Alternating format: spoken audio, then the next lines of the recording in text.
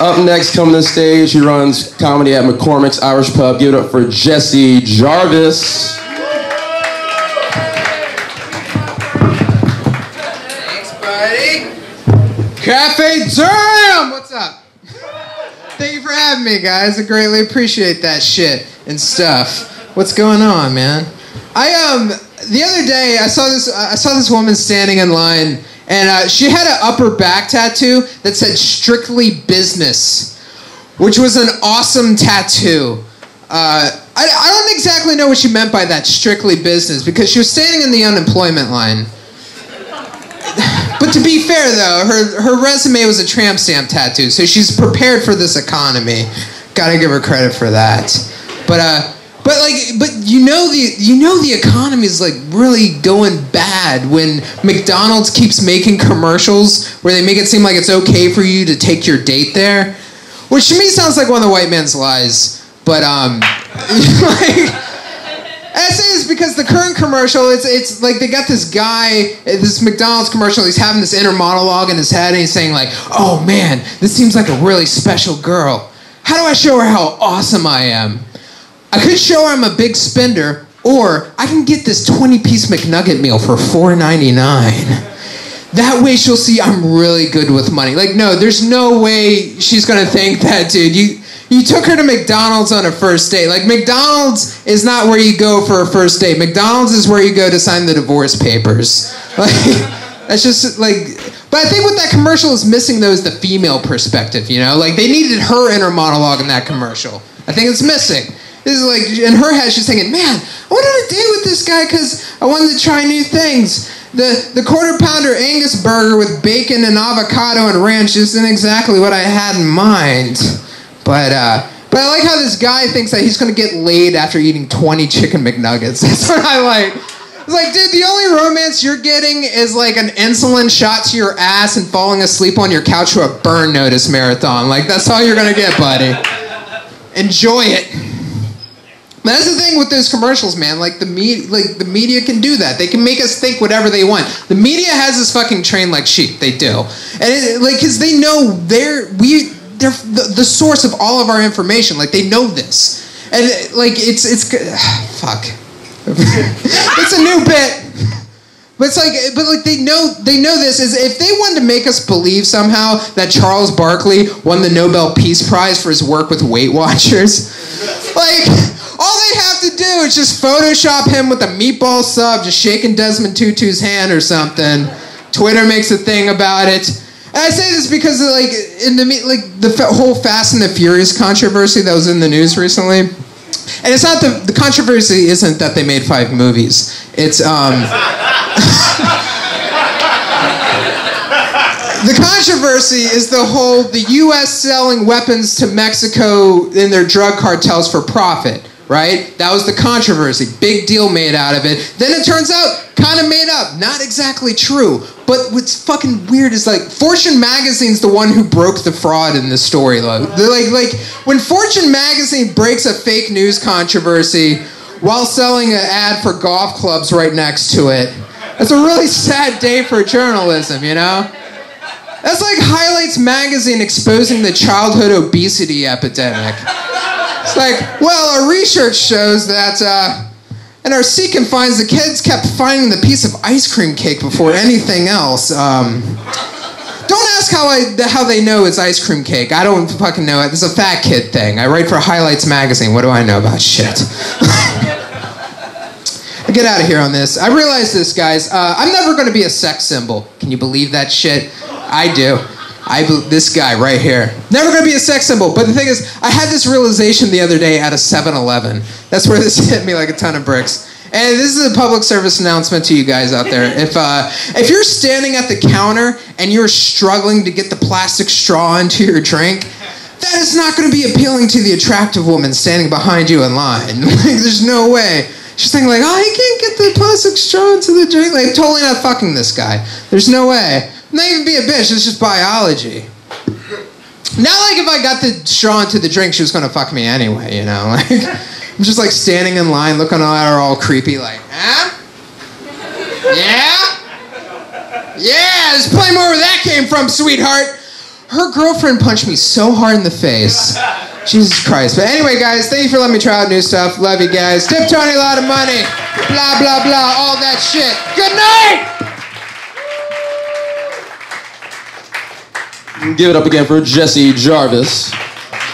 All right, next come up the stage is Zach Pettrey. Hope I said that right.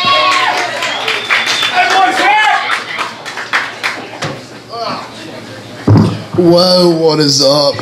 I am higher than giraffe genitals right now. That shit's high. So, uh, I was walking down the street today and found this in a burning bush. And it's comedy notes, so I thought that I should come. I'm really sick of reality TV. I'm sick of uh, bitches being famous for shit that's not really famous material. Kim Kardashian has a sex tape. I have like five. Three of the girls are right there. her uh, her sister Kourtney just uh, gets pregnant by that fucking loser Scott. That's all she does. Khloé, I can't talk shit about Khloé because she's the bodyguard. I'm serious. That's a big bitch. Her Facebook profile reads something like, uh, "Loves my husband Lamar Odom, enjoys being famous for no reason, fucking hates getting an erection."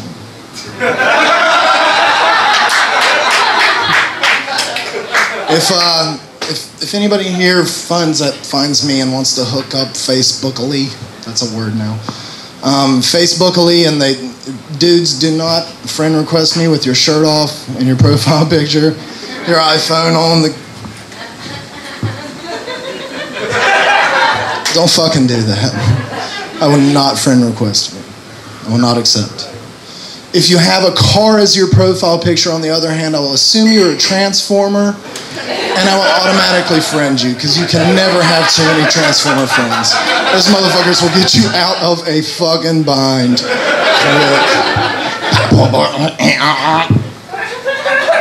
Nobody wants to fuck with a fucking Corvette that just turned into a giant dude that's a robot. I see your guns, Bumblebee. Calm down. Forget where I'm at. Oh, no, I don't. Facebook is getting fucking crazy people stop posting pictures of you with your paycheck when you just get it cashed. You didn't even put it in the bank. That's bullshit.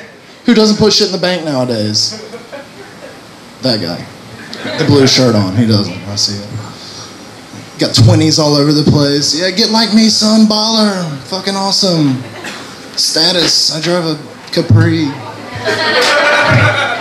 Player, that is your light bill. I hung out with you yesterday and you were ordering shit off the dollar value menu. You are not a pimp, you're not a baller. We work together, you make a dollar less than me. I know this. I've seen the paperwork. Because I'm sneaky. Um, girls, ladies, you guys are great. But I think you have it made with sex. I really do. Always gets quiet. Bullshit, motherfucker. No, you do. You, you you have to concentrate on the most awesome shit in the world to be able to get off. Skipping and bubbles and texting and talking pointlessly for fucking hours. I don't give a shit about how the dog's toenail clippings went today. I fucking don't. Trying to watch Sports Center. Do you know Ray Allen just signed to the Miami Heat? Shut the fuck up. You don't know that shit. Celtics fan. But guys, on the other hand, are the complete polar opposite. Sorry, I've been ignoring the fuck out of y'all. guys, on the other hand, are the complete opposite. We have to concentrate about shit to not get off. You know, I mean, talking about baseball stats. Ray Allen just signed to the Miami Heat. That's basketball, ladies, by the way. Um, grandma swinging titties. Shit's gross, but I'm still just R&B stroke. That happens. I just mastered that stroke. Um, We can't even look at you because you're so motherfucking pretty. We have to look at other shit on the room, pumping Is that a motherfucking paint chip? As soon as I'm fucking done, I'm gonna get that. Hey, girls never apologize for coming first either. Girl apologized to me once for coming first, and I was like, I was four strokes away from being like, I'm so sorry. This never happens. Thank you. That was my A game. Guys have to apologize. Girls can give sex as a birthday present. You forgot my birthday? No, honey, I didn't forget your birthday. Awesome.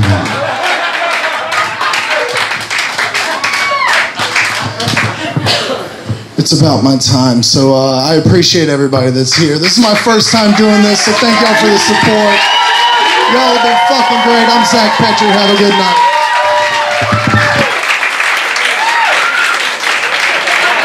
This doesn't work anymore.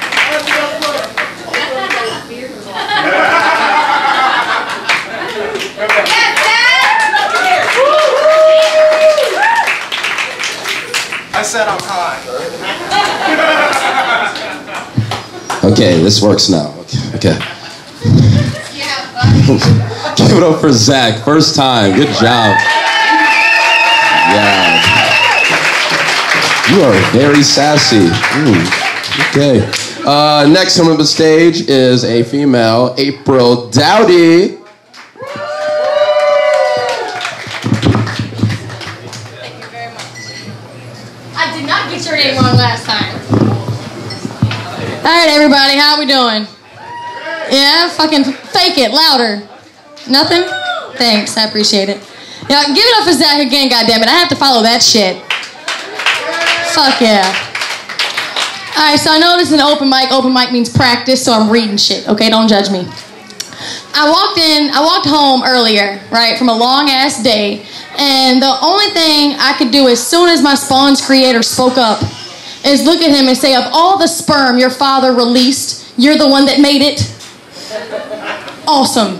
But no, we got in an argument because he said that I was selfish, right? Because I don't appreciate the last two gifts that he gave me, all right? And first of all, mind you, I've known this motherfucker for 11 years, okay? And these two gifts that he's pouting and, and so proud of, the first time he ever gave me anything that he wasn't voluntold to do so, okay?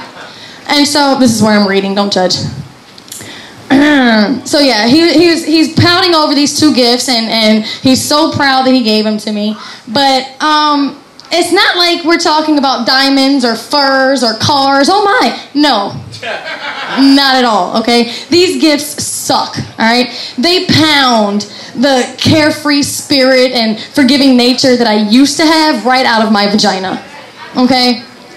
And so when I found out about the first gift, I was kind of flattered, but still disappointed at the lack of surprise. You know, I guess that's what happens when you don't wrap it up. The gift. Yeah, the gift. Yeah, okay, it was made in America, so that's cool. You know, I'm all about supporting local businesses. That's cool.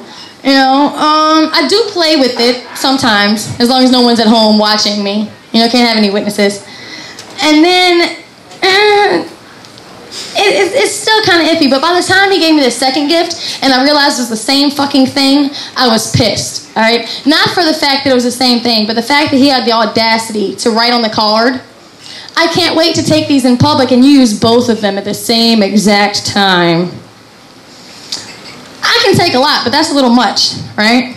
Bear with me, I'm getting there. And so, you know, the bad part came when I realized I couldn't even regift these things, right? I have two of the same thing, can't get rid of it. Because it'd be uncomfortable and awkward if I showed up to some bar mitzvah with this really big box that's beautifully wrapped, and they pick it up and start shaking it and find it like start to vibrate and roll around and hit the sides of the boxes, you know? And they look at me differently. They think I was less of a woman, you know? It'd be awkward. And so basically what I'm saying is that I don't think it's me being selfish after all, you know? I didn't even ask for this shit to be thrust in my lap. So I keep them both in an open box in the back of the closet, out of sight, out of mind, you know? I pull one of them out at a time, play with it, toy around with it, clean it off, put it back, you know? The seven year old is fine with that, but the two year old gets offended. I really do like my kids, just not in public. All right, so I was doing this. I was doing this show. That was new. Fuck it. I was doing this show, and a preacher's wife came up to me afterwards, right? And she said, "You had really good material, but you spat too many profanities. You know, clean it up a bit." And so I looked at her and I said, "Excuse me, ma'am. I don't spew profanities. I enunciate them clearly, like a fucking lady." So, needless to say, I'm not invited back to the Cookies for Christ gala at the Baptist church around the corner. It's bad. It was frowned upon. But um, let's see. Have you got you got like how many ladies by round of applause get your nails done regularly? Get your nails done? Like to get dolled up? Have y'all seen the bras? Like everybody's seen it. The girls get their nails done. They're like long and shit, and they start to curl underneath. And they always want to wave them around and show them off because it's so fresh and glamorous. I think that's a sign of their poverty, right? They'll never be able to own an iPhone. Oh, all right, it's new shit. Don't judge me. But let's see here. I also think that the world would be a much better place if some people had just been swallowed. All right. For for instance, all right. For instance, I was on my way to the show here tonight, and I passed this house. Like the windows were boarded up. It was wrapped in fucking plastic wrap, you know. And I couldn't help but think. I guess it was condemned. And I couldn't help but think that was really fucked up. Not only did they take these people's house, but they gift wrapped it for the next family that was going to move in. That's a step they didn't have to take you know? But I'm not, maybe that's because it's, in, it's a Virginia thing. I'm not from Virginia, all right? I'm from Kentucky, right? And Kentucky is the kind of state, we don't have cities or towns, we have hollers, all right? A holler is a hole in a fucking mountain. It's usually the birthplace of ignorance and racism. All right, like I grew up in Clover Lick Holler, Kentucky, located at the top of Lynch Mountain. All right, and so my dad, we got we moved out here, and it was my escape from Lynch Mountain. It was great. I thought it was going to be a brand new day. But no, we moved into a house on South Confederate Avenue. Yeah. So what better way than me to celebrate that move with my mom than give her the news that her pretty white daughter lost her virginity to a black man in her house on South Confederate Avenue. Hold up. One more step. In her bed that was lined with the rebel flag sheets.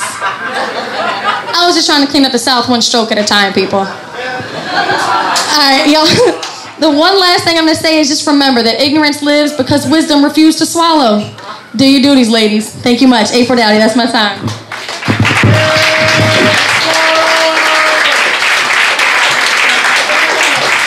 One more time for April Dowdy.